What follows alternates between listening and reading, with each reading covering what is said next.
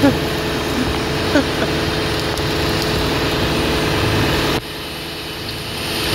some reason, Aiden's driving it into the mountain.